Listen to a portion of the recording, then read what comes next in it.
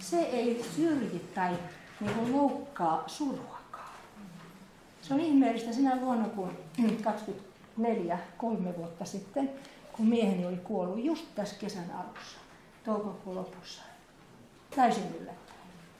Ja heti tuntui, että no nyt ei kyllä kesänvietoja vedetä. Mutta pyhän henki sanoi, että ei kun vedetään. Sinne mahtuu itku ja ilo, suru ja kaikki. Ja se oli ihan totta. Saa ihan olla rauhassa niin kuin ne sopii ihan yhteen tilaan silloin, kun se on herrasta. Mm. Mutta sitten oli ihan pakko kertoa teille yksi muisto. Tehän tiedätte, että kun te lauletaan kun laulu, niin siitä tulee aina joku muistokimpua hyvin usein. Ja me oltiin tässä kirkkotuvalla ja Salme Fongster oli silloin puhumassa täällä. Ja joku toivoi tätä, että he saapuvat lännestä, idästä tämä valssi alkoi tulla. Te olitte täällä silloin myöskin. Ja tota, Salmi tuli yhtäkkiä kysymään. Sinun tuossa edessä oli aika iso tila. Eli, että osaatko sinä valssia? Mä sanoin, joo, että kyllä minä osaan. No, otetaanko valssi? Me tanssittiin valssia siinä, se tuntui niin, niin hullulta. Teettekö, että Jumala oli siinä kyllä mukana. Rukouspalvelussa tuli eräs ihminen sanomaan, hän on valtavan helpottunut siitä. Hän on kaksi vuotta, viikkoa ollut niin, kuin niin ahdistunut ja siteissä, koska hän oli hengellisessä tilaisuudessa, jossa se pääjulistaja sanoi, että stanssi on syntiä.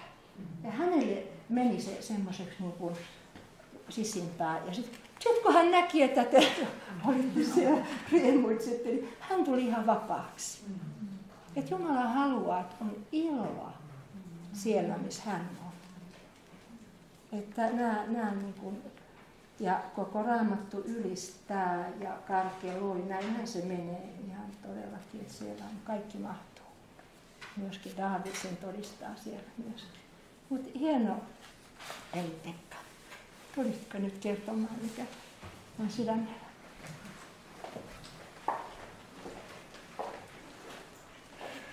Joo, on tosi kiva olla taas täällä Tuusulassa. Mä olin ihan muutakin asiaa tässä toimittamassa samalla, kun tulin tänne. Eli mä vein kukon tonne Akille ja Tytille. Akilla ja Tytillä on tuossa maatila tuossa vähän matkan päässä. Ja meille tuli, mä sain viime syksynä isänpäivä lahjaksi kaksi kanaa ja yhden kukon. Mutta sitten ilmenikin, että se toinen kana olikin kukko. Eli meillä oli kaksi kukkoa ja yksi kana ja ajateltiin, että on hyvä viedä sitten se toinen pois ennen kuin ne rupeaa tappeleen. Ne oli tosi kilttejä, kilttejä kuitenkin, että ei ollut vielä mitään semmoisia suurempia kahakoita, mutta varmuuden vuoksi niin vietiin sitten toinen kukko sinne pois. Ja kyllä se tommoset, siis kukkokin tulee niin rakkaaksi vaan, että luopuminen kukostakin on vaikea. Saati sitten, että olisi sitten yrittänyt niin teurastaa sitä, mutta eihän sitä olisi mitään tullut. Mulla on jotenkin tullut niin semmoinen rakkaus eläimiin suureksi, että se on, on, on tosi, tosi hienoja luomuksia nämä eläimet. Sitä iloitsee sitä Jumalan luomistyöstä. Mä ajattelin puhua tämmöisestä aiheesta, mitä mä oon miettinyt tosi paljon ja, ja edelleenkin mietin sitä ja edelleen yritän tavoittaa sitä entistä syvemmin, kun niin kuin otsikko voisi tälle olla tälle opetukselle tämmöinen, että Jumalan rakastava läsnäolo meidän elämässämme. Jumalan rakastava läsnäolo meidän elämässämme. Miten me voidaan vaikuttaa siihen, että me koetaan enemmän Jumalan rakastavaa läsnäoloa. Ja perinteisesti luterilaisuudessa ei puhuta kokemuksesta ollenkaan. Se sanotaan, että nyt ei kokemukset syrjää ja sillä kun lukee, niin sillä ei vaikka ole mitään kokemuksia. Ja se on ihan, mä ymmärrän sen ajatuksen, että tämä ei ole kiinni tunteista, vaan me otetaan niin kuin, vaikka tunteista riippumatta uskolla kiinni todellisuuteen. Mutta kuitenkin tämä on aika hi- ihana asia, kun tätä miettii. Ja mennään tämmöiseen aiheeseen. Sopiiko tämmöinen aihe vai joko? Joo, hyvä. Jeesus sanoo lähetyskäskyssä opetuslapsilleen, että minä olen teidän kanssanne joka päivä maailman loppuun asti. Ja tunnette hyvin tämän lähetyskäskyn. Mutta sitten voidaan kysyä, että miten Jumala on meidän kanssamme? Mitä se tarkoittaa, että Jumala on meidän kanssamme? Ja kuinka me voidaan kokea se Jumalan rakastava läsnäolo meidän elämässä? Paavali pitää puhetta Ateenassa apostolien teot 17 ja hän puhuu siinä niille ihmisille, kellä hän pitää puhetta, että kertoo Jumalasta, että hänessä me elämme, liikumme ja olemme. Hänessä me elämme, liikumme ja olemme. Jumala on henki ja hän on kaikkialla läsnä oleva ja tässä mielessä Jumala ei ole kaukana kenestäkään ihmisestä. Eli ihmisen ei tarvitse mennä johonkin paikkaan ollakseen Jumalan kanssa tai ihmisen ei tarvitse huutaa hirveästi, että Jumala kuulee, vaan Jumala on joka paikassa läsnäolo. Mutta suurin osa ihmiskunnasta on täysin tietämättömiä Jumalan läsnäolosta. Suurin osa ihmiskunnasta on täysin tietämättömiä Jumalan läsnäolosta tai siitä, että Jumala olisi niin kuin siinä lähettyvillä, saatavilla. Tai he ovat välinpitämättömiä Jumalaa kohtaan. Ja on ihmisiä, jotka eivät edes halua, että Jumala on olemassa. Ja minusta on hirveän vaikea asettua siihen ajatusmaailmaan, että ei edes haluta, että Jumala on olemassa. Että, että sehän olisi kauheata, jos Jumala ei olisi olemassa, niin, niin se kaikki niin kuin, ei olisi toivoa eikä yhtään mitään. Ja just niin Jumala on, on niin, kuin niin upea persoona, niin se olisi, se olisi ihan hirveätä, jos Jumala ei olisi olemassa.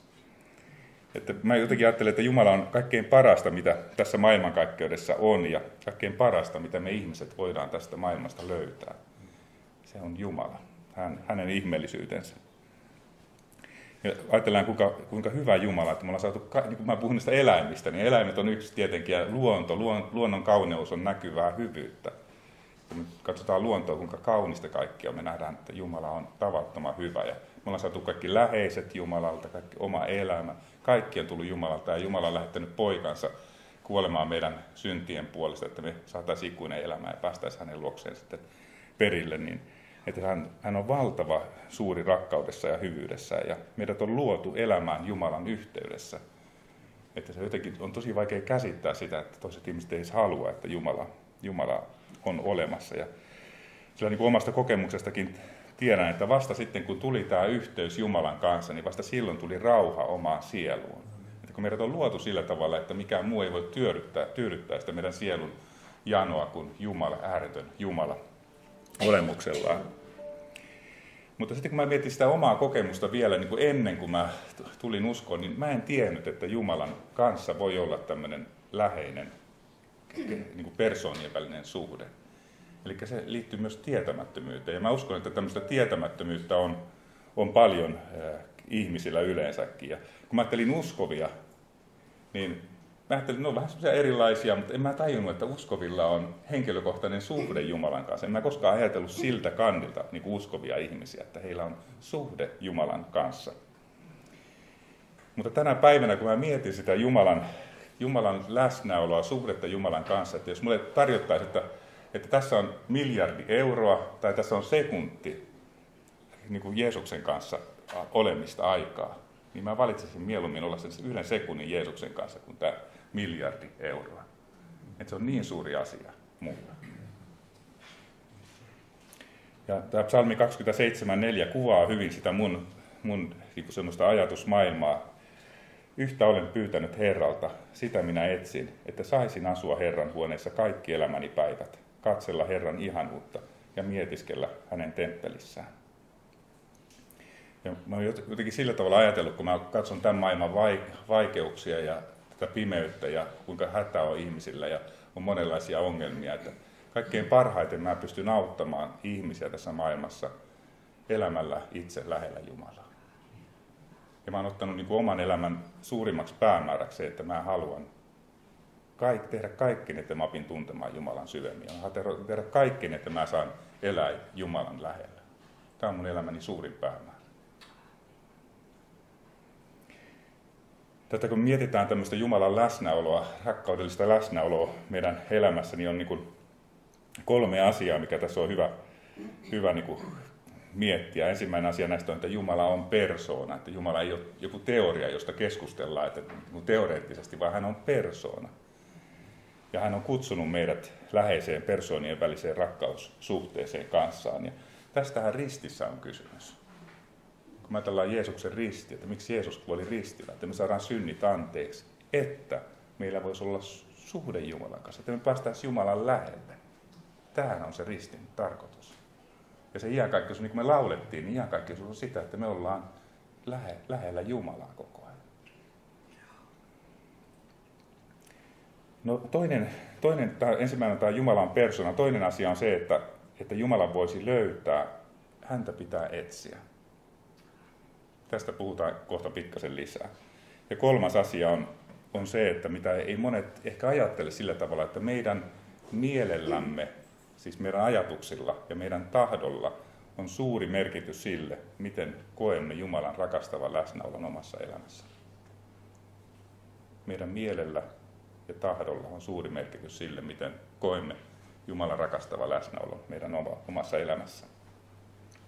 Mutta ylipäätään, kun me ajatellaan Jumalaa, meidän on aina hyvä ajatella tämmöistä persoonien välistä henkilö, niin kuin henkilökohtaista syvää rakkaussuhdetta. Ja siitä ruveta niin kuin miettimään sitä meidän omaa elämää Jumalan kanssa ja, ja kuinka, kuinka, se, kuinka sitä toteutetaan sitten. Ja aika usein meillä on, meillä on tämmöistä suorituskeskeisyyttä, mikä ei sovi persoonien väliseen suhteeseen. Se ei, sillä ei voi perustaa persoonien välistä suhdetta tai meillä on aika usein semmoista, että korostetaan oppia hirmu paljon tämän persoonan välisen suhteen kustannuksella. Sanotaan, että teidän pitää, niin kuin tämä oppi pitää teidän saa uskoa tällä tavalla, kun tässä opissa sanotaan, muuten te ette ole hyviä, eikä ymmärretä, että se opin tarkoitushan on vaan se, että me ymmärretään se persoonien välinen suhde syvemmin. Sanon ehkä vähän vaikeasti tämän asian, mutta jos ajatellaan vaikka, että oppi, oppi on tärkeä asia, mutta se on tärkeää ainoastaan suhteen takia. Jos me ajatellaan, että meillä on oppi kolmiyhteisestä Jumalasta, mikä on ihana asia, isä, poika, pyhä henki, niin se on tärkeää suhteen takia. Me ymmärretään, että isä, Jumala on kolme persoonaa, isä, poika, pyhä henki. Meillä on suhde kolmen persoonan kanssa. Ja tämä on se opin tarkoitus, että se palvelee niin suhdetta meidän, meidän, meidän ja Jumalan välistä suhdetta. Oletteko mukana tässä? Ymmärrättekö tämän ongelman, mikä tähän voi liittyä? Sanotaan, että sun pitää uskoa tämä, eikä ymmärretä, että tämän tarkoitus on vaan tämä persoonien välinen suhde. Eli isä, poika, pyhä henki on rakkauden yhteisö. Ja meidät on kutsuttu elämään tästä rakkauden yhteisöstä käsin, tätä omaa elämäämme. Se on valtava asia. Se on se Jumalan olemus. Eikä, mä ajattelin, että sellainen tavoite mulla ja toivottavasti meillä kaikilla on, että me oppisimme elämään jatkuvasti Jumalan rakastavassa läsnäolossa lisääntyvää rauhan ja ilon täyttämää elämää. Ja tämä on tarkoitettu jokaiselle. Mä en ole mikään erikoinen poikkeus tai joku toinen ei ole mikään erikoinen poikkeus, vaan se on tarkoitettu meille jokaiselle. Tämä, tästä rakkaudesta Paavali kirjoittaa tosi kauniisti tällä tavalla, että roomalaiskirjassa tämä on myös teille tosi tuttu kohta. Mikä voi erottaa meidät Kristuksen rakkaudesta? Tuska vai ahdistus, vaino vai nälkä, alastomuus, vaara vai miekka? Onhan kirjoitettu, sinun tähtesi meitä surmataan kaiken päivää, meitä pidetään teuraslampaina. Näissä kaikissa me kuitenkin saamme täydellisen voiton hänen kauttaan, joka on meitä rakastanut. Olen näet varma siitä, ettei kuolema eikä elämä, eivät enkelit eivätkä henkivallat, ei mikään nykyinen eikä mikään tuleva, eivät voimat, ei korkeus eikä syvyys eikä mikään muu luotu voi erottaa meitä Jumalan rakkaudesta, joka on Kristuksessa, Jeesuksessa, meidän Herrassamme. Ja mä ajattelen itse tästä sillä tavalla, että tässä ei kysymys jostain etäisestä teoreettisesta rakkaudesta, että Kristus rakastaa meitä jotain etäältä, vaan hänen läsnä olevasta rakkaudesta.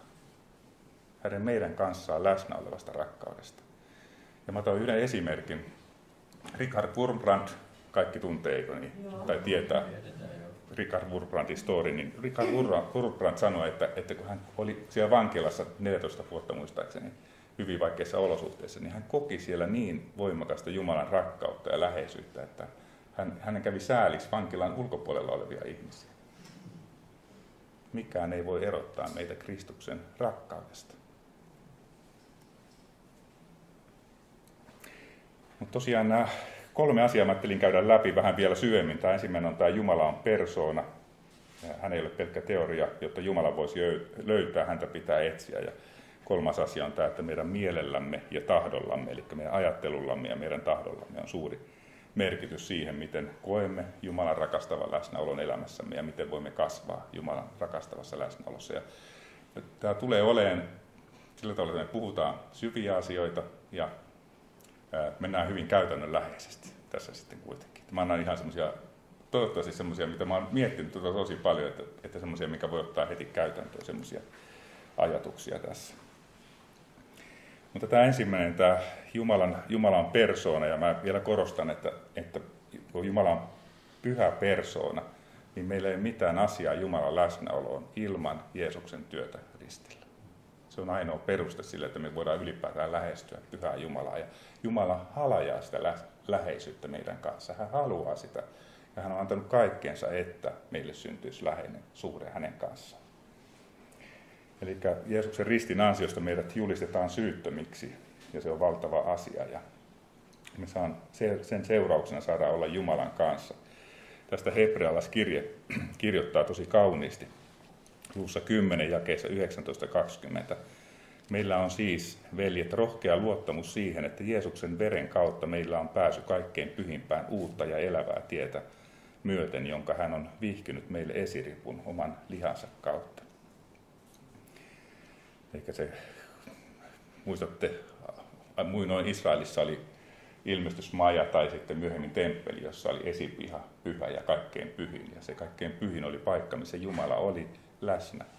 Ja siinä oli vaarallista mennä. Sinne meni ylimmäinen pappi kerran vuodessa mukanaan uhrieläimen verta. Ja hänellä laitettiin naru jalkaan, koska Jumala oli niin pyhä. Hän saattoi kuolla sinne ja kukaan ei voinut mennä vetään tai hakea häntä pois, niin hän oli naru jalassa, että siitä vedetään sitten tarvittaessa pois. Eli kuvastaa sitä Jumalan pyhyyttä. Ja tässä on sitten meille on avattu tie kaikkein pyhimpään esiripun, eli siinä pyhän ja kaikkein pyhimmän välillä oli esirippu, ja se on niin kuin Jeesuksen ruumis esirippu.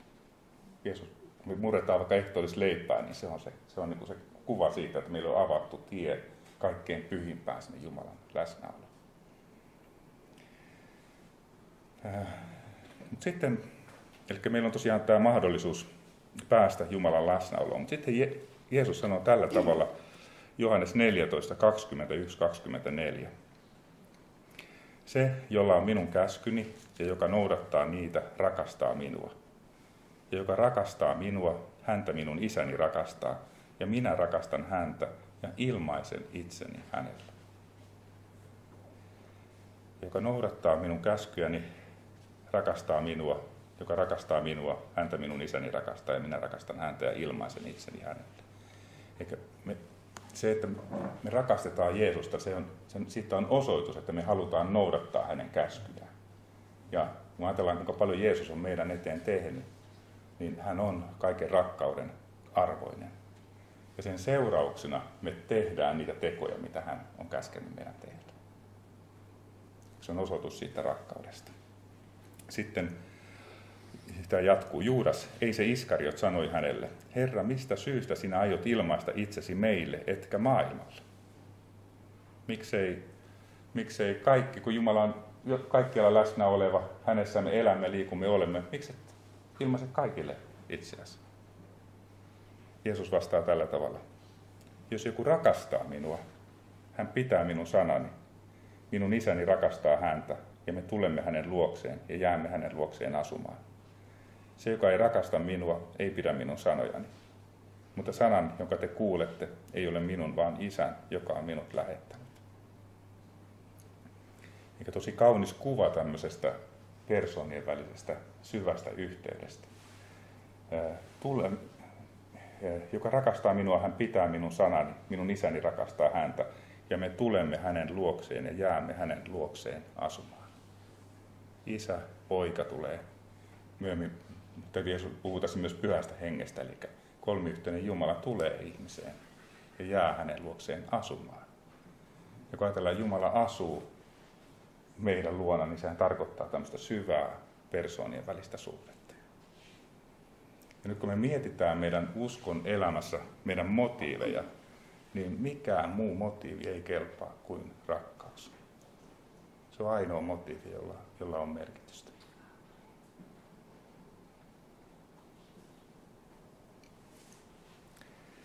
Ja tämä on tosiaan perusta, että tulemme hänen luokseen ja jäämme hänen luokseen asumaan. Niin tämä on perusta, jolle koko hengellinen elämä rakentuu. Tämä on kristityn elämän perusta. Ja se tarkoittaa läheistä, rakkaudellista yhteyttä Jumalan kanssa, persoonien välistä yhteyttä. No, mutta sitten vielä, mennään vielä tähän, että, että minkä Mennään tähän seuraavaksi tähän kakkoskohtaan, eli Jumalan etsimiseen. Se, että tämä persoonien välinen yhteys voi syntyä, niin Jumalaa tarvitsee etsiä. Ja mä selitän kohta, minkä takia Jumala tarvii etsiä, mutta mä luen ensiksi psalmista kuusi muutaman jakeen. Tämä psalmi 6 kertoo hädässä olevasta ihmisestä, joka etsii Jumalaa. Herra, armahda minua, sillä minä olen näännyksissä. Olen uupunut huokaamisesta – joka yö itken vuoteeni märäksi ja kastelen leposiani kyynelilläni. Sieluni on kovin säikähtänyt. Voi Herra, kuinka kauan? Mä uskon, että monelle tuttu tämä tämmöinen tila, että on näin vaikea olotila, näin suru. Että on kyyneleitä vaan. Sänky on märkä kyyneleistä. Eli tässä henkilö etsii Jumalaa hädissään, tuskissaan. Tuntuu, että Jumala ei heti vastaa. Mutta sitten Jumala vastaakin sitten lopulta. Ja tämä menee tällä tavalla. Herra on kuullut itkuni äänen, Herra on kuullut anomiseni, Herra ottaa rukoukseni vastaan. Ja minusta tässä on niin kaksi sellaista tärkeää kysymystä nousee tästä salmista. Että ensimmäinen kysymys, että miksi Jumala ei vastannut heti, kun hän lähti etsimään Jumalaa? Vaan hän kysyy, että voi Herra, kuinka kauan? Miksi ei Jumala välittömästi, kun hän kääntyi Jumalan puoleen, miksei välittömästi Jumala vastannut. Hän joutui rukoilemaan Voi Herra, kuinka kauan? Ja toinen kysymys, musta mikä tässä nousee, on, että mistä psalmisti tiesi, että Jumala vastasi hänelle? Että Herra kuuli hänen itkunsa äänen, hänen anomisensa. Mistä psalmisti tiesi, että Herra ottaa hänen rukouksensa vastaan? Ja tähän, että minkä takia Jumala ei heti vastannut, niin Jumalalla on syy siihen, miksi hän ei heti vastaa. Jumala ei ole ilkeä, että ajattelee, että nyt annetaan nyt vähän aikaa kärvistellä ja sitten vasta vastataan, vaan hän ei tarkoituksellisesti viivytä vastaustaan, mutta tämä liittyy siihen, että Jumalaa pitää etsiä. Ja tämä etsiminen osoittaa sitä, että me todella haluamme häntä. Ja todella me haluamme kohdata Jumalan. Ja tämä liittyy kanssa siihen, että jos Jumala, Jumala on niin valtavan suuri, että jos, me, jos Jumala tulisi sillä tavalla niin kuin voimalla tähän maailmaan, niin ihmiskunnan historia loppuisi siihen. Meiltä kaikilta menisi tahto. Me ei voitaisi enää kasvaa niin kuin vapaina persoonina, kun Jumala on niin suuri. Ja siihen liittyy se, että Jumalaa tarvitsee etsiä. Jumala ei, tämä liittyy myös semmoiseen, niin kun miettii rakkauden olemusta, niin kuin, jos mä, mä, mies on vaikka ihastunut naiseen, niin mies ei voi väkisin sitä naista niin kuin ottaa, että nyt tulet mun kanssa, vaan hän täytyy sopia se, että se sopii sille toisellekin osapuolelle. Ja tämä on, liittyy kanssa tähän samaan asiaan. Eli Jumala on valtavan suuri, ja sitten kun miettii että rakkauden luonnetta, niin Jumala tarvitsee etsiä, että hänet voi löytää.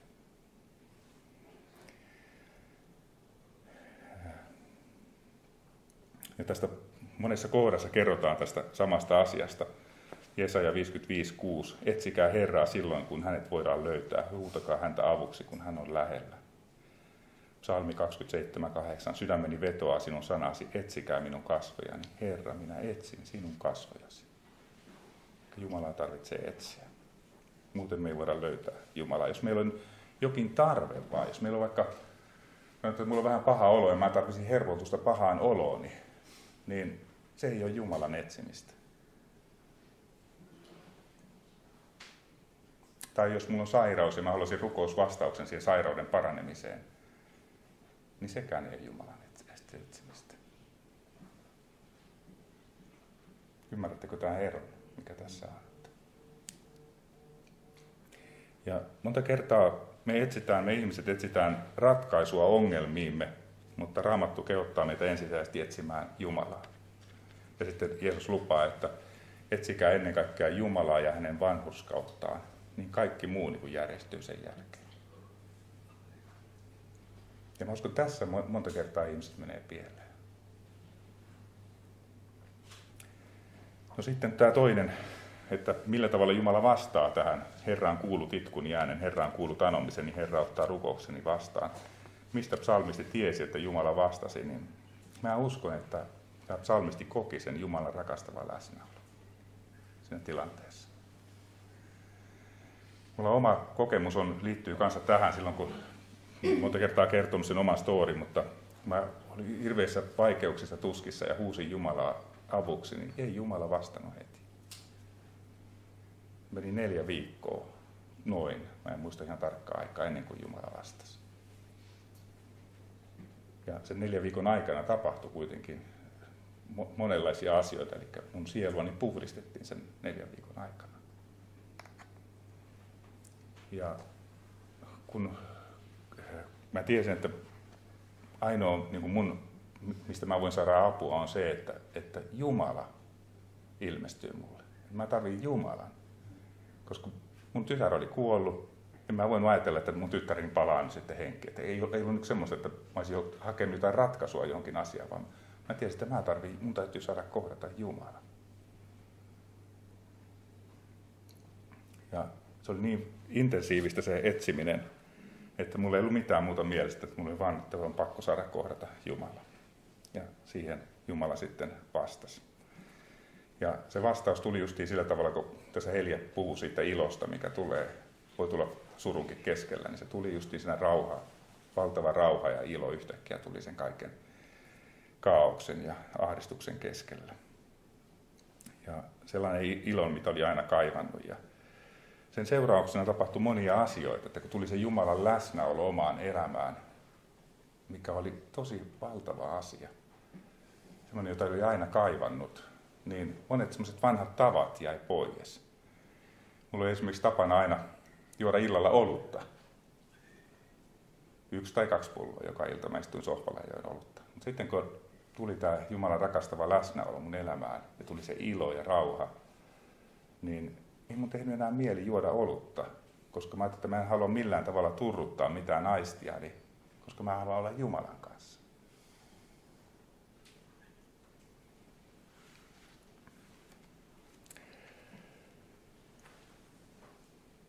Ehkä se on aina, niin kuin, sitä ei voi olla riittävästi niin kuin korostamatta sitä, että kun puhutaan Jumala-suhteesta, niin se on persoonien välinen rakkaussuhde, jolle rakentuu kaikki muu. Mutta meidän ensisijainen niin kuin ajatustemme ja etsinnän kohde tulisi olla Jumala. Ja se Jumalan etsiminen ei lopu uskoon tulemiseen, vaan Jumala toivoo, että me etsitään häntä jatkuvasti. Ja kysy on ihan samalla, kun miettii niin kuin rakkaussuhdetta. Se etsiminen välittää, että oikeasti, että jos me etsitään Jumalaa, se oikeasti kertoo, että me välitetään Jumalasta. Me halutaan oppia syvemmin tuntemaan Jumalaa. Ja mä uskon, että tässä on tietämättömyyttä tässä asiassa kanssa, että kaikki ei tiedä, että Jumalaa tarvii jatkuvasti etsiä. Ja ei tarkoita sitä, etteikö se suhde olisi olemassa, mutta se suhde syvenee sen etsimisen kautta.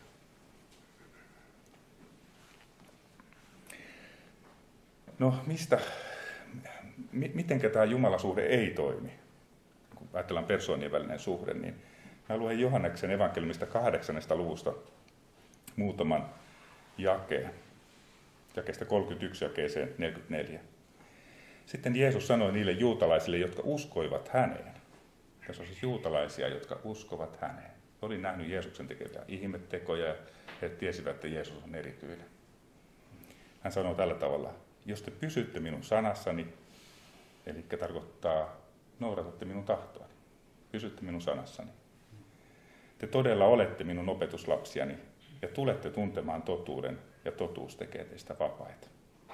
He vastasivat hänelle, me olemme Abrahamin siementä, emmekä ole koskaan olleet kenenkään orjia. Kuinka sinä sitten voit sanoa, teistä tulee vapaita?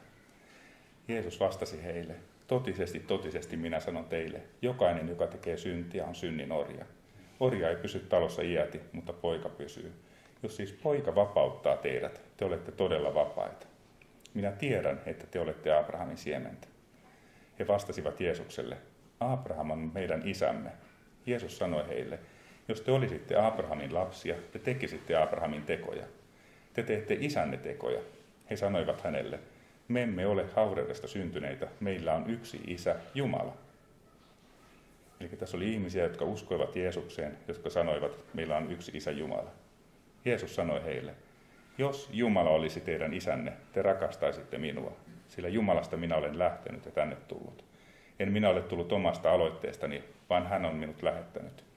Miksi te ette ymmärrä minun puhettani? Siksi, että te ette siedä kuulla minun sanaani. Te olette isästä paholaisesta ja isänne himoja te tahdotte noudattaa.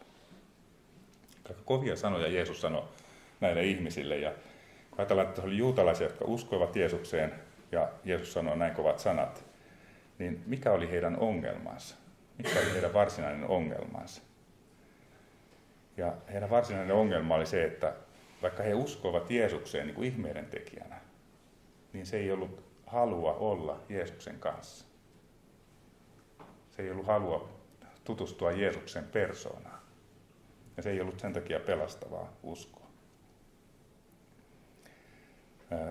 Jeesus sanoo, miksi te ette ymmärrä minun puhettani? Siksi, että te ette siedä kuulla minun sanaani.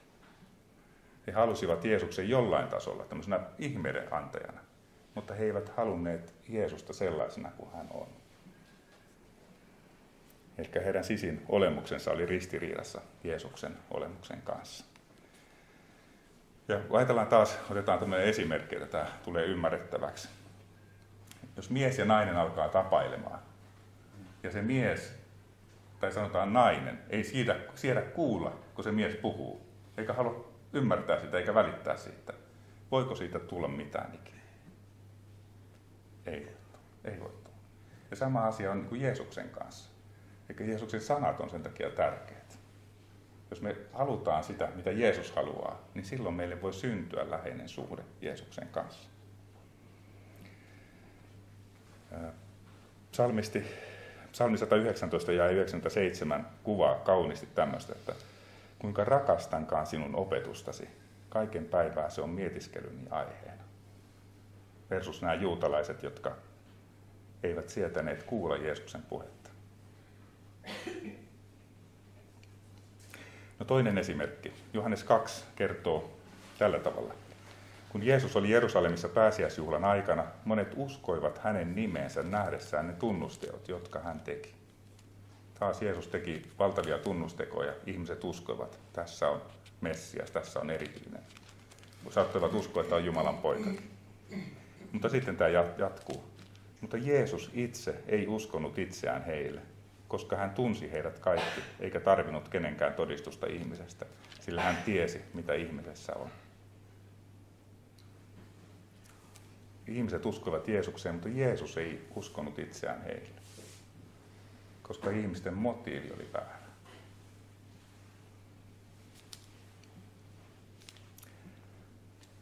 Ja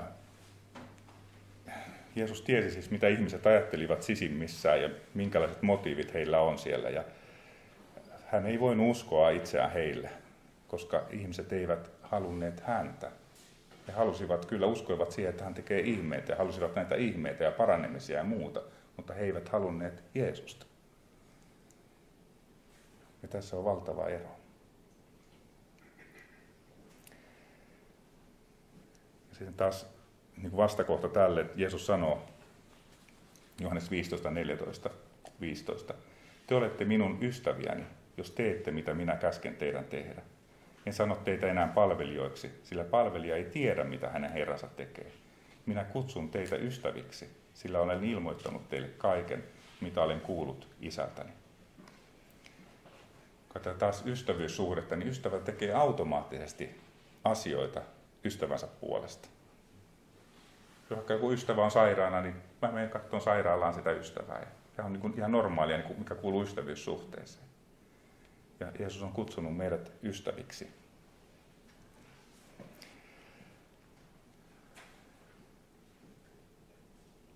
Taas Paavali sanoi, että haluaisin lähteä täältä ja olla Kristuksen kanssa, sillä se olisi verrattomasti parempi. Taas Jeesuksen kanssa olemista. Paavali kaipasi. Se olisi verrattomasti parempi. Eli kysymys on tosiaan siitä, että me on hyvä ajatella tätä kahden persoonan välisenä suhteena meidän suhdetta Jumalan kanssa ja semmoisena suhteena, että me ollaan täysin avoimia Jumalalle. Ja kysymys on tosiaan siitä, että haluammeko oikeasti olla Jumalan kanssa, haluammeko Jumalaa niin hänen persoonansa. Ja silloin on hyvä miettiä just, että kuinka hyvä Jumala, että kuinka valtava. Ja me pitää tuntea, kun me mietitään Jumalaa ja luetaan raamatusta, minkälainen Jumala on, niin, niin hän on tosi vallottava persoona. Eli me ollaan nyt käyty läpi Jumalan persoona, jotta Jumala voi löytää, hänet pitää etsiä, häntä pitää etsiä, muuten hän jyräisi meidän yli. Etsiminen osoittaa, minkälaisia me ollaan, mitä me halutaan oikeasti elämästä. Tähän liittyy kysymys elämän suurimmasta päämäärästä. Mutta sitten kolmas, mennään tähän Jumalan rakastava läsnäolo elämässämme ehkä sillä tavalla omasta kokemuksesta voin kertoa, että, että tämä menee vähän käytännönläheisempään, että silloin kun mä tulin uskoon, niin mä koin sen Jumalan rakastavan läsnäolon omassa elämässäni ja se muutti kaikkea. Se antoi, mutta tuli niin kuin elävä suhde Jumalan kanssa. Aikaisemmin Jumala ei ollut teoria, enkä mä tiennyt, että Jumalan kanssa voi olla elävä suhde. Ja, mutta sitten välillä tuntui, että se yhtäkkiä se Jumalan läsnäolo meni pois mun elämästä. Ja mä pelästyin, että mitä nyt tapahtuu. Että nyt Jumalan, mä en tunnekaan sitä Jumalan läsnäoloa samalla tavalla. Ja sitten meni vähän aikaa, ja sitten taas palautui takaisin. Ja sitten saattoi mennä vähän aikaa, taas se meni pois. Ja mä ihmettelin, että mistä, tää, mistä tässä on kysymys. Minkä takia Jumala toimii tällä tavalla? Mitä sanoisit? Ole hyvä. Juuri näin. Jumala haluaa irrottaa, että meillä ei ole tunteista, että ei ole tunteista kiinni, vaan me pidetään lujasti kiinni siitä, mikä, mitä Jumala sanoo sanassa. Et se on hyvin tyypillistä, että semmoista ei tarvitse pelästyä, jos välillä voi olla pitkiäkin aikoja, ettei tunne sillä tavalla sitä Jumalan rakastavaa läsnäoloa. Mutta semmoisia mulle henkilökohtaisesti tärkeitä hetkiä on tietenkin raamatun lukeminen. Siinä raamatun, raamattua lukiessa mä mietin usein, minkälainen Jumala on ja kuinka hyvä hän on. Ja se auttaa mua kokemaan sitä Jumalan läsnäoloa erityisellä tavalla. Ja erityisesti aamut on tärkeitä tässä. Samoin luonnon katsominen, kun ne ihmettelee luonnon kauneutta, niin se tuo semmoisen syvää ilo ja kunnioituksen Jumalaa kohtaan ja hänen teitään kohtaan. Mutta monta kertaa mä joudun odottamaan Jumalaa. Että Jumala ei aina heti tuu sillä, kun mä toivon, että nyt mä haluaisin Jumala sen kokea sinun läsnäolos, niin se ei aina mene sillä tavalla, vaan monta kertaa joutuu odottamaan, että Jumala tulee siihen. Ja mä oon huomannut, että Jumala ei pysty millään tavalla manipuloimaan myöskään. Mä en voi itse sukkeroida itseäni johonkin tilaan, vaan se on Jumalasta kiinni se homma. Ja tällä tavalla Jumalasta on tullut tosi turvallinen mulle, koska Jumala ei ole mun manipuloitavissa. Jos olisi sellainen Jumala, jota mä pystyisin kääntelemään ja vääntelemään, niin eihän se olisi todellinen Jumala ollenkaan. Mutta sitten se, se, mitä mä oon niin kuin omassa niin kuin yrittänyt opetella, ja on se, että mä pyrin keskittämään ajatuksiani jatkuvasti Kristukseen. Kun mä oon töissä, mä yritän miettiä niin kuin Jeesuksen kautta kaikkia niitä asioita ja miettiä, että mä oon Jeesuksen kanssa tässä töissä. Tai kun mä tänne tuli, tuossa istuin, mä että mä oon Jeesuksen kanssa tässä puhumassa. Välillä se onnistuu paremmin ja välillä huonommin, mutta mä oon huomannut, että, että miten, mitä enemmän mä niin kuin pystyn ajattelemaan niin kuin Jumalaa päivittäin elämässä, niin, niin sitä paremmin se päivä menee. Eli tämä, meidän ajatukset on tässä mielessä tosi tärkeällä sijalla siinä, että miten me koetaan sitä Jumalan rakastavaa läsnäoloa meidän elämässä. Ja meidän usein ajatukset, mulla ainakin ne välillä, ah, me häittelee ja välillä se karkaa ja on vaikea niin keskittyäkin välillä, niin silloin mä yritän tahdolla sitten aina kääntää niitä ajatuksia sinne Jumalan suuntaan. Eikä tää, tällä tavalla niin kuin mä toimin tässä käytännössä. Jolle voi olla paljon parempikin tapa ja voidaan jakaa niitä kohta näitä tapoja. Ja tämä on oikeastaan se, mitä kolossalaiskirje opettaa kolmannessa luvussa, että jos teidät on yhdessä herätetty Kristuksen kanssa, kiinnittäkää mielenne siihen, mikä on ylhäällä, missä Kristus istuu Jumalan oikealla puolella. Ajatelkaa sitä, mikä on ylhäällä, älkää sitä, mikä on maan päällä. Eh, kun Kristus teidän elämänne ilmestyy, silloin tekin ilmestytte hänen kanssaan. Ja kiinnittäkää mielenne siihen, mikä on ylhäällä. Ää, kuinka moni on kuullut semmoisesta, tämä on viimeinen asia, mikä mä nyt tässä vielä otan tässä esille, niin mikä liittyy tähän tosi, tosi kiinteästi, semmoisesta kuin veli Lorenz. Hyvä, hyvä, loista. Muistaako kukaan hänen kirjansa? Joo, mulla on se kirja. Joo. Eli hän, on, hänestä, hän ei ole itse kirjoittanut kirjaa, mutta hän on kirjoittanut kirjeitä ja häntä on haastateltu. Ja sitten on syntynyt sellainen kirja kuin Practice the Presence of the Lord, joka tarkoittaa Jumalan läsnäolon harjoittaminen. Ja tämä veli Lorenz oli köyhästä perheestä kotoisin oleva. Hän tuli uskoon 18-vuotiaana, ja koska hänellä oli niin niukkaa taloudellisesti ja nälkä ja muuta, niin hän liittyi sitten armeijaan ja hän haavoittui siellä armeijassa. Ja sitten hän toimi jonkinlaisena, sen jälkeen hän sieltä, palasi sieltä armeijasta pois ja haavoittumisen jälkeen ja toimi jonkinlaisena palvelijana. Ja sitten 40-vuotiaana hän meni luostariin ja hän palveli maalikko veljenä Karmeljiitti luostarissa Pariisissa ja hoiti siellä keittiötöitä ja teki sandaaleita. Ja, mutta sitten hänen olemuksensa teki vaikutuksen ihmisiin.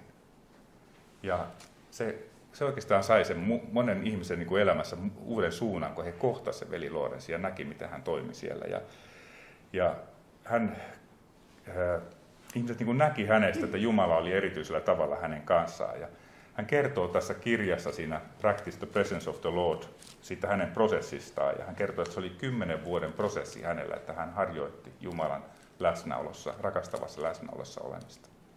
Kymmenen vuoden prosessi. Ja sitten hän kertoo tällä tavalla, Tässä on lainaus sitä kirjasta, mä luen tästä muutamia kohtia. Tajusin sitten yhdessä vaiheessa, tajusin heti muuttuneeni. Sieluni, joka siihen asti oli ahdistunut, tunsi syvän sisäisen rauhan. Siitä lähtien olen vaeltanut Jumalan edessä yksinkertaisesti, uskossa, nöyrästi ja rakkaudella. Pyrin ahkerasti tekemään, olemaan tekemättä mitään ja ajattelematta mitään, mikä saattaisi olla hänelle epämiellyttävää. Pyrin olemaan tekemättä mitään, ajattelematta mikään, mikä olisi Jumalalle niin kuin loukkausta.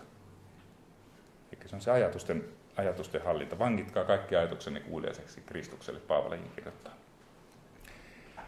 Noin 30 vuotta sieluni on ollut täynnä iloa ja iloa, joka on niin jatkuvaa ja joskus niin suurta, että minun on pakko löytää keinoja piilottaa tämä sellaisilta ihmisiltä, jotka eivät ehkä ymmärrä. Voimme totuttaa itsemme jatkuvaan keskusteluun hänen kanssaan kaikessa vapaudessa ja sisäisessä yksinkertaisuudessa. Meidän tarvitsee vain tunnistaa Jumala, joka on läheisesti läsnä kanssamme, ja omistaa itsemme hänelle joka hetki. Meidän on anottava hänen apuaan, että tietäisimme hänen tahtonsa epäselvissä asioissa ja suorittaa tehtävämme hänen tahtonsa mukaisesti ja sitten kiittää häntä, kun olemme ne täyttäneet. Sitten hän antaa tämmöisiä neuvoja. Pidä suositukseni mielessäsi, että ajattelet Jumalaa usein, päivällä, yöllä, liiketoiminnassasi ja jopa har, harhau, har, harhautuksissasi. Hän on aina lähellä sinua ja kanssasi. Älä jätä häntä yksin. Kun ystävä tulee luoksesi, olisi töykeätä jättää hänet yksin. Miksi Jumala sitten pitää laiminlyödä? Älä unohda häntä, vaan ajattele häntä usein, palvo häntä jatkuvasti, elä ja kuole hänen kanssaan. Tämä on kristittyyn loistava tehtävä. Ja tämä on jotain, jota meidän tulee oppia. Sitten hän kertoo vielä tällä tavalla. Minun on tarkoituksenmukaista kertoa, miten koen itseni Jumalan edessä, jonka näen kuninkaanani. Pidän itseäni surkeimpana miehistä. Olen täynnä vikoja, puutteita ja heikkouksia, ja olen tehnyt kaikenlaisia rikoksia kuningasta vastaan. Tunnustan hänelle kaiken pahuuden. Pyydän hänen anteeksiantoaan Luovutan itseni hänen käsiinsä, jotta hän voisi tehdä minulle mitä haluaa. Kuninkaani on täynnä armoa ja hyvyyttä, kaukana nuhtelemasta minua. Hän syleilee minua rakkaudella. Hän saa minut syömään pöydässään. Hän palvelee minua omilla käsillään ja antaa minulle avaimen aarteisiinsa. Hän juttelee ja iloitsee. Hän on kanssani lakkaamatta, tuhannella ja tuhannella tavalla. Ja hän kohtelee minua kaikissa suhteissa suosikkinaan. Tällä tavalla pidän itseäni jatkuvasti hänen pyhässä läsnäolossa. Eikö se on niin, jotenkin niin rakkaudellisesti tulee, vaikka, vaikka me toimitaan väärin tai mitä tahansa, mutta kun Jumalan rakkaus tulee, se tulee niin armollisesti se Jumalan läsnäolo siihen tilanteeseen ja rohkaisee ja vie eteenpäin. Ja se on jotain niin valtavaa, että se on semmoinen, jota haluaisi antaa kaikille ihmisille. Että se on niin kuin, ja tämä hyvin kuvaa tämä kuninkaani täynnä armoa ja hyvyyttä, kaukana nuhtelemasta minua. Hän syleilee minua rakkaudella. Sitten vielä yksi pätkä tästä. Olen ollut monta kertaa kuoleman kielissä, enkä ole koskaan ollut niin tyytyväinen kuin tuolloin. Tästä syystä en rukoillut helpotusta. Pikemminkin pyysin Herralta voimaa kärsiä rohkeasti, nöyrästi ja rakkaudella. Voi kuinka ihanaa on kärsiä Jumalan kanssa. Olivatpa kärsimykset kuinka suuria tahansa, otan ne kaikki vastaan rakkaudella, rakas kristitty ystävä, on paratiisi kärsiä Herran kanssa. Hänen kanssaan on mahdollista olla kaikissa olosuhteissa. Meidän on mahdollista elää juuri Herran läsnäolon kautta juuri vaikeimmissakin olosuhteissa. Jos sinä ja minä aiomme nauttia paratiisin rauhasta tämän elämän aikana, meidän tulee totuttautua jatkuvaan nöyrään ja erittäin hellään keskusteluun Herran Jeesuksen kanssa. Sinun täytyy estää henkeäsi eksymästä Herran luota olosuhteista riippumatta mä luen tätä, niin tämä on semmoista elämää, mitä mä kaipaan. Tämä on semmoista jotenkin, mä että tämä on tarkoitettu, mä uskon, että tämä on tarkoitettu kaikille. Mä tiedän, koen olevani kaukana tämmöisestä, mitä tämä Peri Lorenz kuvaa, mutta tämä on jotain semmoista, mitä mä todella kaipaan. Ja kun tiedetään, kuinka vaikeaa elämä on, mutta sitten kun me saadaan Jumalan kanssa kulkea tämä elämä, Jumalan se ihan erilaista saadaan kokea se hänen rakkaudellinen läsnäolonsa kaikissa tilanteissa. Mutta tosiaan, niin kuin lopetus sanoi, että, että Jumala on parasta, mitä tästä maailmankatkaisesta voi kukaan ihminen löytää. Ja nimenomaan se hänen persoonansa ja niin kuin sitä, siihen kannattaa keskittyä, hänen etsimiseensä. Ja se varmasti tuo niin kuin kaikkein parhaan mahdollisen lopputulon, jos miettii omaa, elämästä, e, omaa elämää ja tosiaan, niin kuin mä sanoin alussa, että mun elämäni suurin päämäärä on oppia tuntemaan Jumalaa syvemmin. Ja se on, kaikke, se on ykkösprioriteetti ihan kaikessa, mitä mä teen. Ja ehkä voisiko se olla myös sinun elämän suurin päämäärä? Että tekisi oikein sillä tavalla, että päättäisi, että tämä on mun elämäni suurin päämäärä. Ja miettii, mitä tämä Peli Lorenz kuvaa tässä, että minkälaista elämää, että vaikka on kärsimyksiä, niin hän pystyy niidenkin keskellä olemaan Herran kanssa. Ilmestyskirja sanoo tosi kauniisti, minä seison ovella ja kolkutan, jos joku kuulee minun äänen ja avaa oven, minä tulen sisälle hänen kanssa, luokseen ja aterioin hänen kanssaan ja hän minun kanssani. Että Jeesus seisoo jokaisen meidän elämän ovella ja kolkuttaa ja, ja hän haluaa tämmöistä läheistä persoonien välistä suhdetta. Ja, ja se on nyt ihmisestä, että jos ihminen ei halua, niin Jumala kunnioittaa sitäkin tahtoa, mutta jos ihminen avaa oven, niin se on niin kaunis, että minä tulen sisälle hänen luokseen, niin aterioin hänen kanssaan ja hän minun kanssani. Eli tämmöinen kaunis ystävien läheinen, välinen läheinen suhde. Ja sitten vielä muistetaan se, että etsitään Herran kasvoja. Aamen. Mennäänkö taas 124 täältä tähän kohtaan jotenkin vaan 124.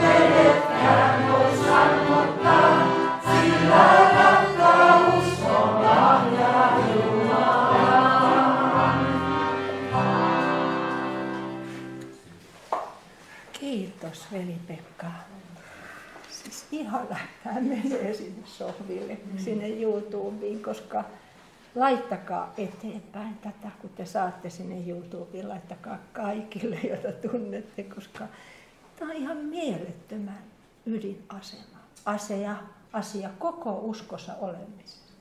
Ajatelkaa, miten turhaa on se suoritus, miten täysin arvotonta se on ja tuottaa pelkkää ahdistusta ja siteitä, jos ei tämä ydinasia oikeasti kirkastu. Et todella, todella rukouksen kuuluut saatiin ihan sieltä Jumalan sydämeltä, että hän niin kaipaa meitä, hän ikävöitsee meitä. Saada se suhde, koska hän tietää, että mikään ei voi onnistua meidän elämässä, ellei meillä ole se, niin kuin Jaakob hän sanoi, että en, en lähde, niin kuin, mitä siihen Jaakobille sanoi, että en lähde niin kuin käyt siunaamaan minua. Se oli hänelle ensimmäinen kerta, kun hän koki, niin kuin kohtasi elävän Jumalan. Ja näin mekin saamme tehdä. Ei, ei, Jumala ei luovuta, jos me emme luovuta ja lähde suorittamaan sitä, sitä uskoa koska se on hyvin lähellä jokaista tämmöinen ansa, että lähdetään ansaitsemaan sitä hyväksymistä. Mutta uskollisuus ja usko on, kun joku on sanonut ihan synonyymi niin kuin sanoina, usko ja uskollisuus. Ja joku kysyy, kuinka kauan näitä iltoja on ollut? No yli 30 vuotta, reippaasti. No sitten ää, tässä on ollut aina, sitten nämä oikeasti alkoi. Sillä lailla puhuttiin hengenuudistuksessa, että jossain vaiheessa, no rukousillat varmaan alkaa vähän olla historiaa, että ne ei oikein enää niin kuin silleen sytytä tai niin kuin juttu. Ja silloin mä aloin kysellä, että no onko näin. Mutta sitten siinä vaiheessa kyllä sain niin kuin sen ymmärryksen, että ei kun meidän tulee lähettää se evankeliumi me vetten taakse. Ja silloin joskus otettiin juuri tämä, että me annetaan rakkauden lahja. Me ollaan täällä tultu ravituksi hengessä, niin me lähetetään. Ja meillä oli Skandinavian lapsilähetys, otettiin eti, ihan heti siihen, koska siinä on valtava todistus siitä, miten Jumala antoi sen kutsun. Ja tota, nyt on as, mielenkiintoista, Nämä otti itse yhteyttä meihin täältä Skandinavian lapsilähetyksestä. Ihmetteli, kuinka te olette saattanut olla niin uskollisia ja niin paljon heidän työssään mukana kaikki nämä kymmenet vuodet. Että tota, meillä on nyt 40-vuotis juhlavuosi, että saataisiko me tulla pitämään teille äh, tilaisuus. Ja meillä on nyt 16.11. tulee Meina Osten pitää konsertin ja heidän tämän järjestön johtajakin tulee sieltä tota, siihen päivään tänne. Et, ja tänä iltana ajattelin juuri, että muistetaanpa heitä. Ja siellä on sellainen ihana tapa ollut meidän viime aikoina vuohi. Yksi vuohi maksaa 25 euroa ja se sitten pelastaa koko sen perheen elämän. Ja nyt voit ostaa puolikkaan tai sorkan tai miten kolme vuotta. Ihan sinun, it's up to you. Mutta me kerätään nyt seuraavan kappaleen aikana tänne rakkauden lahja.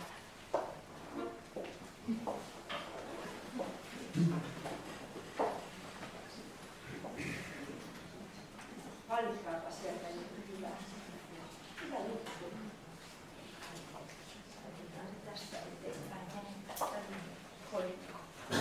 tästä saarnasta mieleen tämmöinen laulu kuin Päätän olen seuraava. Se on hyvä laulu. Numero, numero 178.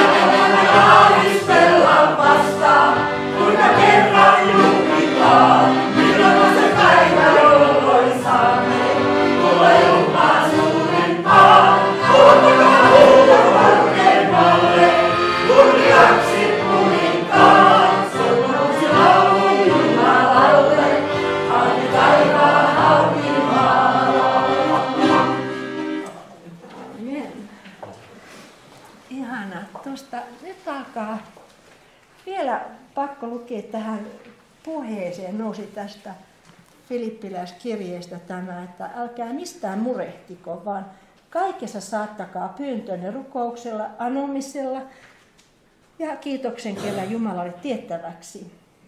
Ja Jumalan rauha, joka on kaikkia ymmärrystä ylempi, on varjeleva teidän sydämenne ja ajatuksenne Kristuksessa Jeesuksessa. Ja vielä veljet ja siskot myös.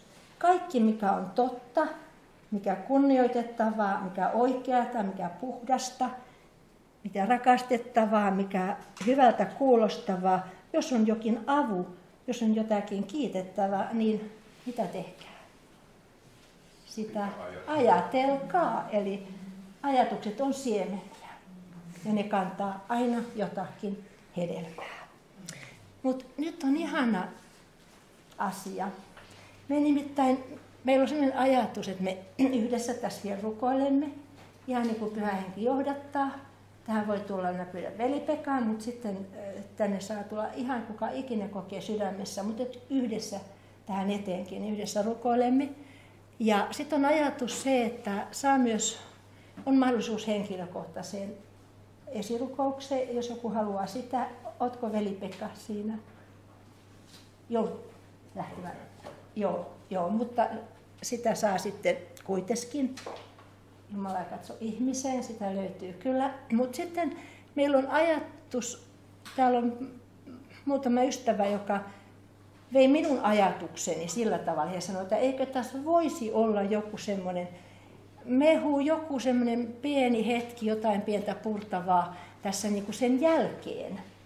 Ja, ja me, me tarttuin heti siihen, koska tähän ilmaantui sellaisia ihmisiä, jotka sanoivat, että he voivat ottaa siitä, siitä vastuuta.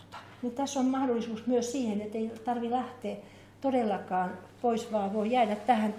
Tuodaan tuohon sitten Framille semmoinen pöytä ja kaikki, mitä, mitä tota, mutta sitten kun ollaan torukouksen jälkeen ja silleen. Mutta nytten siunaamme tämän lahjan kiitoksia ja sitten käymme rukoilemaan tässä vielä yhdessä.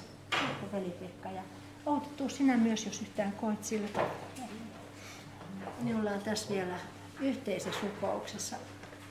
Odottakaa vielä hetki, me ollaan tässä vielä, hei ystävät, me, me, älkää vielä ihan tuo, me rukoillaan tässä välissä, se on nyt kuitenkin tärkein. Joo, okei, okay, joo. Joo, kiitos Pyhä Elävä, kaikki valtias Jumala. Me kiitämme, me ylistämme sinun hyvyydestä, sinun armosta, sinun totuudestasi. Me kiitämme siitä, että tänä iltana saamme luottaa siihen, että sinä olet todella lähestynyt meitä rakkaudessa, armossa ja rakkaudessa. Herra niin, että kaikki ne esteet, joita kenellä ikinä voi olla täällä tai sitten siellä netissä ruudun äärellä, niin Herra, me kiitetään siitä, että sinä murrat ne. Sinä ilmestyt meille sillä tavalla armosi ja rakkautesi kautta, joka sinä tahdot meille olla. Sellaisena isänä, sellaisena armahtajana, lohduttajana, rohkaisijana, kun sinä tahdot meille olla, koska sinä, sinulla on ikävä omiasi. Sinä kaipaat meitä sinne syliisi, aivan sinne syliisi, niin kuin Johannes, sinun opetuslapsi, jota Jeesus, joka sanoi itse itsestään, että hän on se opetuslapsi, jota Jeesus rakastaa. Ja mekin tahdotaan olla niitä opetuslapsia, joita Jeesus sinä rakastaa että meillä saadaan se kokemus, se ymmärrys ja tieto, että se on totta. Se on suurin totuus koko maailman kaikkeudessa. Sinun rakkautesi, sinun hyvyytesi, sinun armosi ja laupeutesi. Ole ylistetty, ole kiitetty.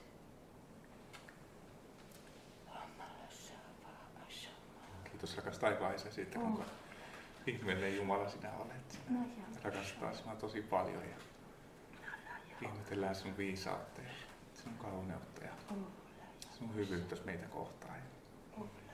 Kiitos Herra, että olet jokaisen meistä kutsunut läheiseen suhteeseen sinun kanssa. Että ei ole ketään poikkeusta. Jos joku luulee olevansa poikkeus, niin ei ole poikkeuksia. Tämä kysymys, kysymys ei ole sitten, että mit, mitä me ollaan ansaittu tai mistään, vaan kysymys on sinun rakkaudesta ja sinun olemuksesta ja sitten kuinka ihmeellinen sinä olet. Kiitos Isä, että sinä lähetit Jeesuksen avaamaan tänne yhteyden sinne sinun luoksesi. Ja kiitos Jeesus, että sinä tulit, sinä tie, totuus ja elämä. Ja vaan sinun kautta ihminen voi päästä Isän luokse. Kiitos Jeesus, että sinä olet täydellisesti käsitellyt meidän syntiongelma, joka erottaa meidät Jumalasta. Ja sinä olet veresi vuodattanut, kallisarvoisen veresi vuodattanut meidän syntiemme tähden.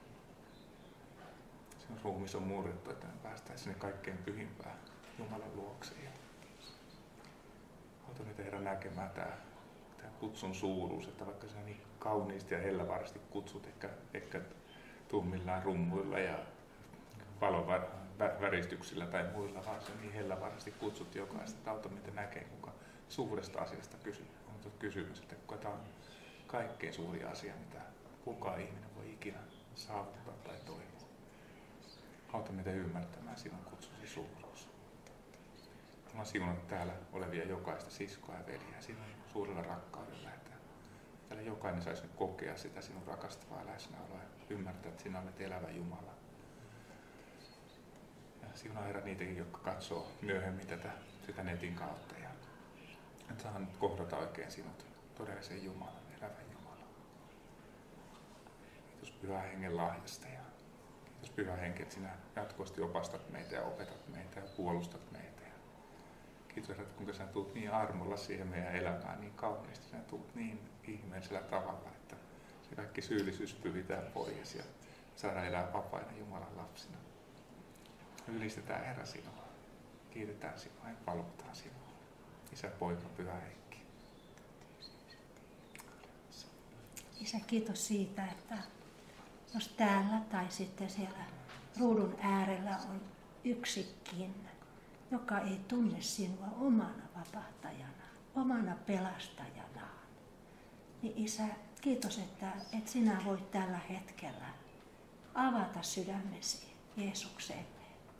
Sinä vain sanot siellä, että Jeesus, minä tahdon, että sinä tulet minun sydämeni asumaan. Minä kiitän siitä, että saan syntini anteeksi, koska sinä olet ne sovittanut Kolkataristillä. Ja sinun palvelijanasi, kaikki valtias Jumala, saan julistaa sinulle, että kaikki sinun syntisi on anteeksi annettu. Sinä olet avannut sydämesi Jeesukselle Kristukselle ja hän on sinun pelastajasi. Hän on sinun vapahtajasi. Hän on sinun parantajasi. Ja sinä saat tästä eteenpäin tietää, että sinä olet armahdettu, sinä olet vapahdettu. Sinä kuulut Jumalalle. Sinut on luotu elämää ja rakkautta varten. Sinut on luotu hyvyyttä varten. Kiitos Jeesus, että jokainen, joka tämän pyysi sinua sydämeensä, niin saa omistaa sinut omana vapahtajana. Kiitos Jeesus. Kiitos me saamme siunata myös koko Kristuksen morsianta, tätä Kristuksen seurakuntaa, koko Suomen maassa, koko maailmassa. Herra, me rukoillaan sitä, Jeesus, että niitä orpoja ei enää olisi, vaan että olisi vain niitä lapsia, jotka siunaavat toisia, jotka iloitsevat toistensa menestyksestä ja jotka näkevät, että he eivät ole tästä maailmasta. Vaikka me olemme tässä maailmassa, me emme ole maailmasta. Herra, niin että usko ja luottamus sinun hyvyytesi saisi kasvaa niin, että tämä maailma näkisi, että meillä on jotain, mitä heiltä puuttuu. Kiitos Herra, että siunaat kaikkia hengellisen työn tekijöitä, johtajia, pastoreita, apostoleja, profeettoja, ylistäjiä, hengellisiä isiä ja äitiä, jokainen, joka tekee sinulle työtä. On se mikä tahansa, ei ole pientä eikä suurta palvelustyötä, on kaikki, joka tehdään niin kuin Herralle, niin se kaikki on siunattua. Se kaikki on hyvää. Kiitos. Aivan erityisesti me taataan siunata myöskin rippileirejä. Siellä on sadat, sadat nuoret tänäkin kesänä, Herra Kiitos siitä, että he saavat kuulla sinun kutsusi. Sinun kutsusi ja saavat aina pastoreille, aina isosille, kaikille sitä viisausneuvoja, ymmärrys. Herra, kohdata nämä nuoret. Kohdata heidät rakkaudella. Ja tuoda Jeesus sinut eläväksi heidän.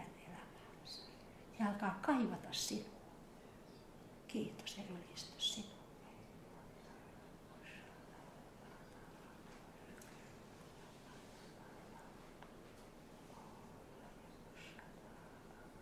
kansilta Israelia. Joka sinä näet, sinä yksin tiedät, missä mennään ja miksi kaikki tämä on nyt. Koko maailma on kääntänyt katseensa Israelin, koko maailma katselee sinun, sinun kansaasi siellä.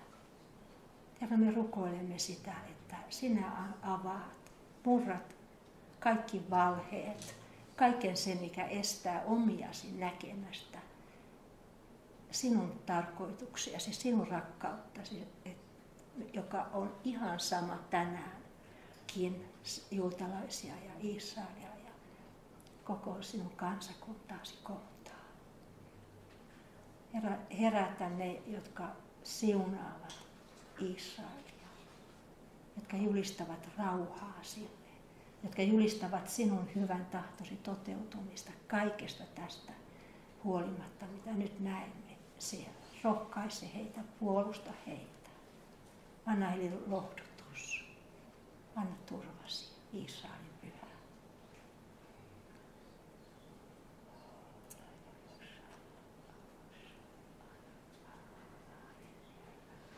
Siunaatko tämänkin?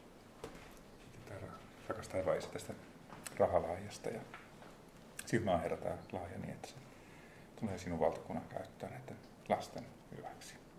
Jeesuksen nimessä, amen. Täällä on joku, jolla on kutsu vahvasti ollut sydämellä. Täällä tai sitten netissä myöskin voi olla. Ja se on himmentynyt. Ja Herra sanoi, että hän ei ole ottanut pois kutsuansa, vaan, vaan sinä saat se, se, se kirkastuu sinulle. Hän on varannut ihan tehtävän, jossa, joka täyttää niin kuin sinun elämän syvimmän kaipauksen. Se turhautuminen, mikä sinun elämässä on tällä hetkellä, se väistyy, koska sinä saat palvella elää Jumalaa. Se tulee tämän suhteen kautta, josta tänään on rukoiltu, josta tänään on. Kiitos Herra, että puhut niiden sydämelle, joille tämä kutsu on annettu. Amen. Mä koen, että jollain on sellainen ajatus mielessä, että vieläkö tämän ikäisenä. Ja, ja mä koen, että Herra haluaa sanoa, että, että muista Saara, että onko Saara tuli niin tietyn ikäisenä 90-vuotiaana äidiksi ja sinäkin saat olla hengellinen äiti monelle. Amen. Amen. Eli Herra siunaa teitä, hän varjelee teitä, Herra kirkastaa kasvonsa teille, hän on teille armollinen. Herra kääntää kasvonsa teidän puoleenne ja hän antaa teille rauhan. Isän ja pojan ja pyhän hengen nimeen. Amen.